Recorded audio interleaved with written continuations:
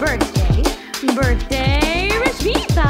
Happy birthday, happy birthday, Rashmita.